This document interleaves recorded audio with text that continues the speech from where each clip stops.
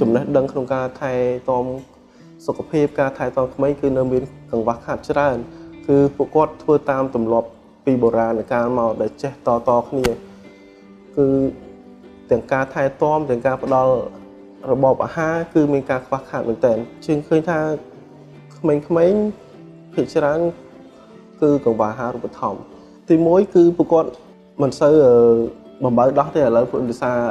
ម្ដាយរវល់អញ្ចឹងបើដោះគោឬបើក្មេងនៅតាមជនបទបើម្ដាយរវល់ហើយក៏អត់បានបើដោះទៀតគឺវាច្រើនបើទឹកបបរបើអីចឹងណាវាច្រើនអញ្ចឹងអត់មានជីវសារធាតុចិញ្ចឹមគ្រប់គ្រាន់ទេហើយការថែទាំក្មេងចិត្តសោតគឺមានការខ្វះខាត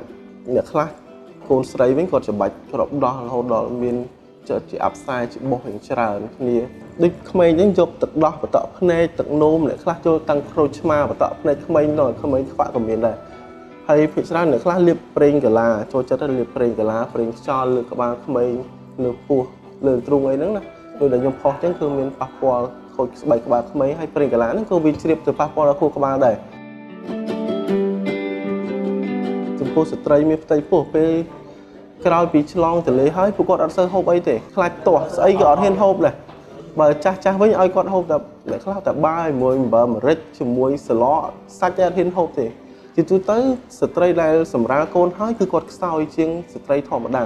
ដោយសារគាត់អស់កម្លាំងគាត់ពោះពោះផងគាត់ត្រូវមើលកូនបើដោះឲ្យពេលសម្រាលធ្លាក់ឈាមផងអញ្ចឹងគឺគាត់ត្រូវការអាហារច្រើនជាងស្ត្រីធម្មតាផងអញ្ចឹងគាត់ត្រូវការញ៉ាំសាច់ច្រើនញ៉ាំបន្លែញ៉ាំផ្លែឈើ គឺអត់មានតមអីទេតមដែលរបស់ដែលមនុស្សទូទៅតមធម្មតាបានហើយគឺស្រាបរិយរបស់ផ្អាប់អីចឹងតែប៉ុណ្្នឹងប៉ុន្តែចំពោះសាច់អីក៏អត់តមទេគាត់ហូបបានកាន់តែច្រើនកាន់តែល្អទី1គាត់ជួយកម្លាំងខ្លួនឯងផងសុខភាពខ្លួនឯងផងនិងធ្វើឲ្យគាត់សម្បូរទឹកដោះហើយទឹកដោះគាត់មានជីជាតិដើម្បីឲ្យកូនបើបានល្អផង